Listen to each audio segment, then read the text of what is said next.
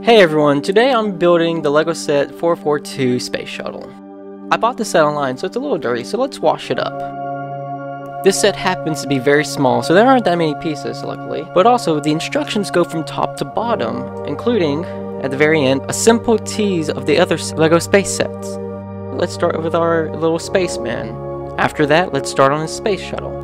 Now, because I bought this online, there's only one piece that sadly was messed up, which was the control panel, which looks like it had some teeth marks. However, I'm okay with this because most of the damage is going to be hidden. I actually have another set like this, however I found this online and was like, I've got to have another one. After all of that, he is ready to fly off. Make sure you guys like, comment, and subscribe.